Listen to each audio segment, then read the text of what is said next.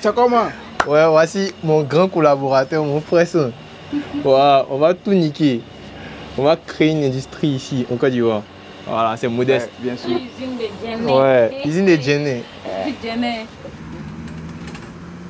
Hello la niche, je suis Jean-Yves Kwasi le créatif derrière la marque Djene. Djene signifie jean en. J'ai choisi le nom Djene par rapport au, au friperie que je faisais avant.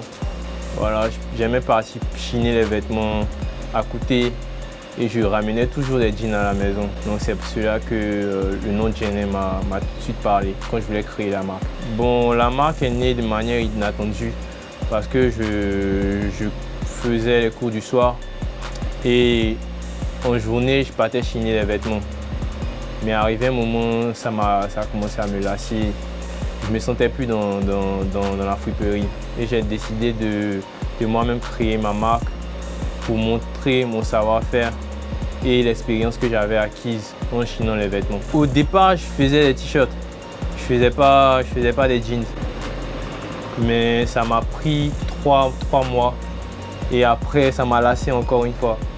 Et j'ai décidé de, créer les, jeans à partir du mois de septembre. Pour la première collection, je voulais euh, une personnalité vraiment forte, charismatique et assez, assez ancienne. Voilà, quand j'utilise le terme ancien, c'est n'est pas pour, pour être péjoratif, mais je voulais avoir une personnalité vraiment incroyable pour ma première collection.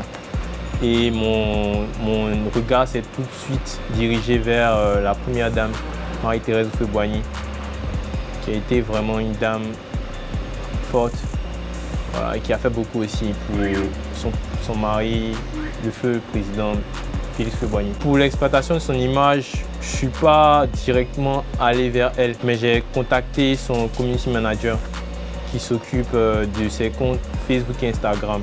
Je lui ai parlé du projet et il m'a dit que c'était super bien, qu'il adorait l'idée et qu'il voulait voir un peu ce que j'allais faire. Ça m'a tout de suite donné la force de continuer et de débuter le projet. Non, officiellement, je ne l'ai pas encore rencontré, mais je suis sûr que mon travail et la renommée de Jennifer, tout, tout, cela fera que je la rencontrerai. Je suis, je suis créatif, mais il y a du monde derrière moi. Il y a un couturier qui est mon collaborateur. J'ai une couturière aussi du nom de Deborah. J'ai mon community manager, celui qui s'occupe de mes posts, de mes stories, Arthur Dago.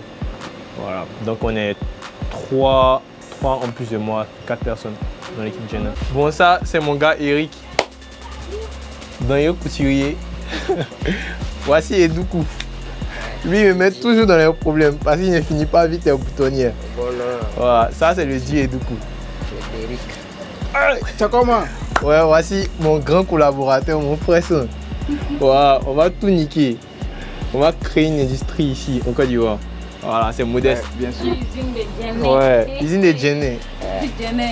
Et voici Debo. Debo, c'est avec elle qu'on fait les robes.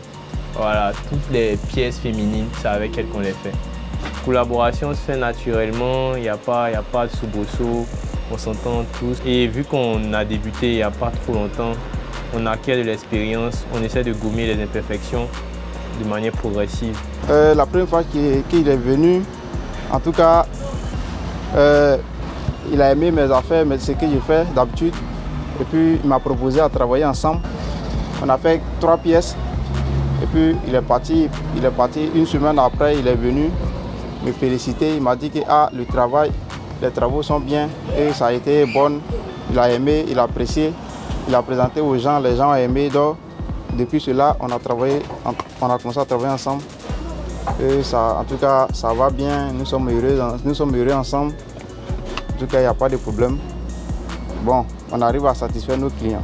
Je me suis dirigé derrière euh, plusieurs couturiers, mais il m'avait dit qu'il ne voulait pas faire les jeans. Il ne voulait pas faire les jeans. J'ai eu un à Yopougon, du côté de la Selle-Mer. Il m'avait dit qu'il pouvait, mais après quand il a vu les modèles, il a dit que c'était trop compliqué, que ça ne l'arrangeait pas. La grosse, grosse, grosse problématique que j'ai, d'abord c'est pour les tissus le jean que j'utilise, il est vraiment pas, pas très facile à avoir parce qu'il vient en petite quantité et dès qu'il finit, pour en avoir, ça prend un peu de temps. Donc s'il y a ça, et puis vu que je, je pars acheter les tissus, je vais chez le couturier, je vais chez le sérigraphe, après je vais faire les étiquettes encore. Donc moi, si je fais tout ça, ça fait que des fois, c'est un peu, un, peu, un peu contraignant. Bon, à long terme, je veux être une référence en termes de, de jeans ici en Afrique. Voilà. Et aussi, je veux promouvoir là à travers mes jeans. Je veux pas que mes pièces soient, soient, soient fades.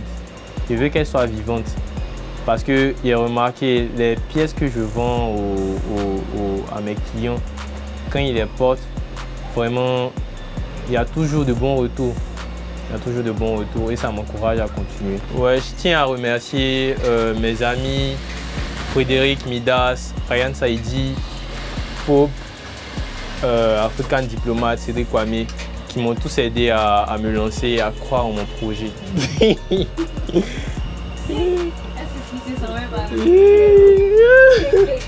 la star, la star. Ouais, généraux quoi.